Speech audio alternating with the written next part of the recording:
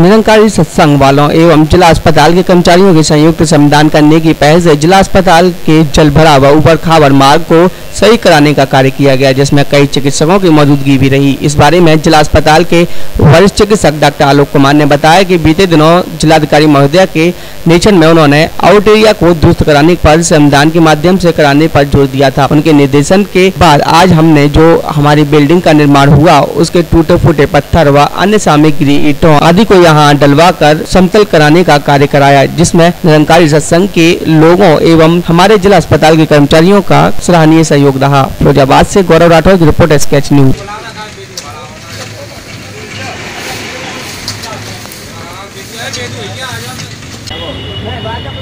भाई जो जिला अस्पताल में आज किस तरीके का आयोजन किया गया है? आज ये स्वच्छता के संबंधित सफ़ाई अभियान का आयोजन किया गया है और ये निरंकारी मिशन से सदगुरु बाबा हरदेव सिंह जी महाराज का जन्मदिन है। उन्हीं के उपलक्ष्य में आज ये सफ़ाई पूरे वर्ल्ड लेवल पर की जा रही है। हर ब्रांच में, हर जिला में, हर सरकारी हॉस्पिटल में ये अभियान चलाया जा रहा है। उनका यही संदेश था कि गंदगी अंदर हो या बाहर, दोनों ही हानिकारक है। इसलिए हमको सफ़ाई पर विशेष ध्यान देना चाहिए। कहीं भी इधर उधर हमको गंदगी नहीं फैलानी चाहिए। जैसे कि लिखा है कि दीवारों पर पीक मार देते हैं। इधर उधर ना पीक उछालें, कूड़ा कूड़ेदान में ही डालें। वृक्ष लगाओ, विश्व बचाओ। इस तरीके से ये निरंकारी मिशन का पैगाम है और ये जन जन तक ये आवाज़ लगाई जा रही है कि हमेशा इसको हमें कायम रखना है। प्रतिवर्ष इसी बात हम हर सरकारी हॉस्पिटलों में, नदियों में, रेलवे स्टेशनों पर ये सफ़ाई अभियान बड़े ही लगन के साथ करते हैं।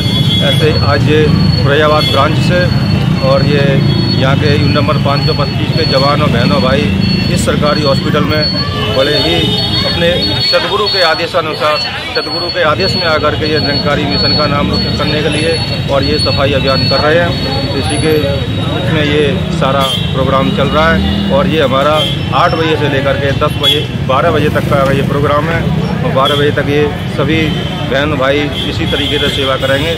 ये हमारे सदगुरु का आदेश है। ऐसा है, ये हमारे यहाँ जो नेत्र रोग विभाग है, इसके सामने पानी जमा हो रहा था थोड़ी सी सड़क टूटी हुई थी तो उसमें पानी भर जाया करता था, जिसकी वजह से डर लगा रहता था कि जो बुज़ुर्ग लोग अपनी आँख दिखाने आते हैं, कहीं उनको किसी और तरह का चोट चोट ना लग जाए।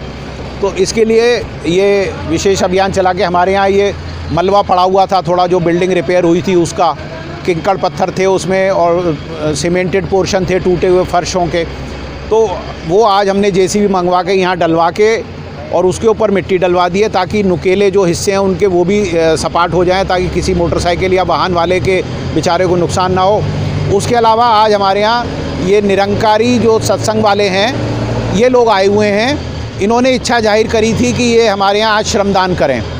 विगत सप्ताह जब नवागंतुक आदरणीय जिलाधिकारी महोदया हमारे यहाँ आई थी तो उन्होंने हमारे आउट स्कर्ट एरियाज़ में थोड़ा सा सफ़ाई पे ध्यान देने के लिए ज़ोर दिया था और उनका ये सुझाव था, ये आदेश थे कि हम श्रमदान करा के ये अपने आउटस्कर्ट एरिया में कार्य करें।